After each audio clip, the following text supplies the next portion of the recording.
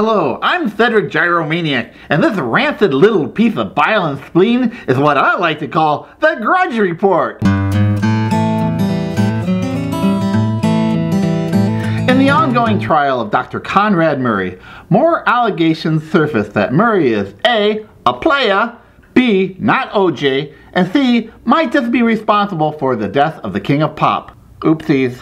Pakistan and India have both won seats on the UN Security Council. The selection procedure involved a complicated voting process whereby candidate countries had to die for empty chairs when the music stopped. And finally, in a little segment I like to call Cedric Says Goodnight, Cedric says goodnight. Good night.